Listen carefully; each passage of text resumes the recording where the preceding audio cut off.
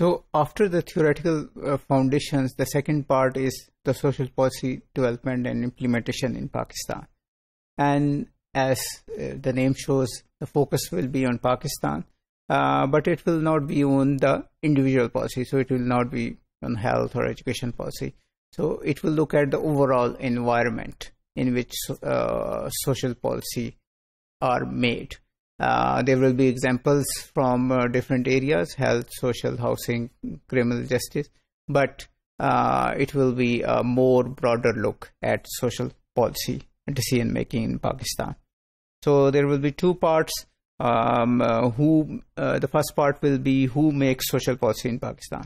So in in this area or in this segment, we will discuss the different policy uh, models of different uh, different models of social policy making and power.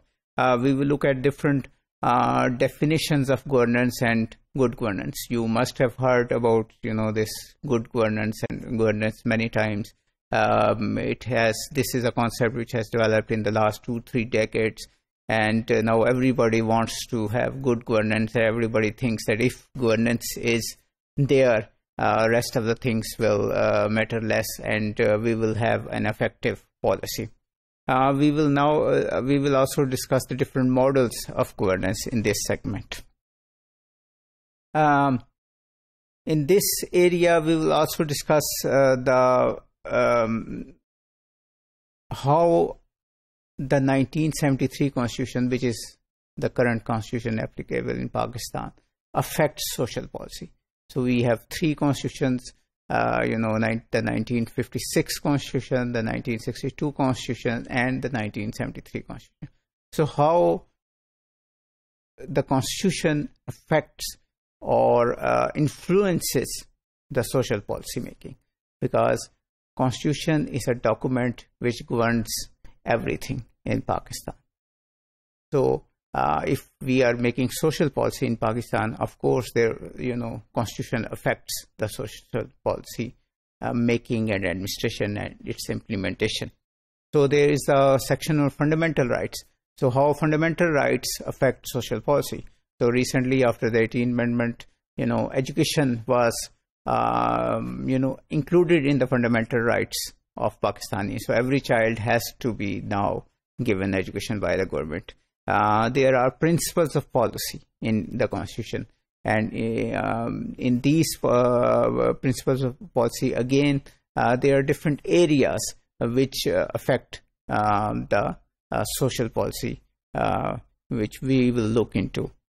Then there is the social policy before the 18th amendment and after the 18th amendment. So 18th amendment as i have discussed before is a major transformation as far as uh, Pakistan is concerned, as far as the 1973 constitution is concerned. Uh, it has been called uh, a major overhaul of the overhaul of the constitution um, by the experts. Uh, so we will look how how 18th Amendment has affected uh, the uh, the social policy making. we will look at the judiciary's role as given uh, in the constitution. So recently we have uh, Supreme Court decisions regarding transgenders, regarding minorities, uh, and they have uh, basically asked the government to include these people, these marginalized groups, uh, in um, their social services. So they have to be provided social services which are provided to other Pakistanis. So uh, again, the judiciary influences the uh, the social policy making in Pakistan. Then the role of bureaucracy, and of course the federal and provincial bureaucracies, how the policy is implemented. Um, uh, under 18th Amendment, we will look at how uh, you know the federalism, the definition of federalism, or federalism as in uh, as uh, as operated in Pakistan, how its definition has changed, how its you know its meaning has changed after the 18th Amendment and we will also look at how social policy in developing countries is different from or similar from what is happening in Pakistan. Um, uh, we will also look at, you know, 18th Amendment was passed in 2010, so uh, almost uh, or nine years have passed. So uh, we have looked at different you know, we have implemented uh, the uh, the 18th Amendment in almost all the areas. So, but there are several issues. So uh, we will look at these issues why uh, the 18th Amendment has not been as effective as it should have been.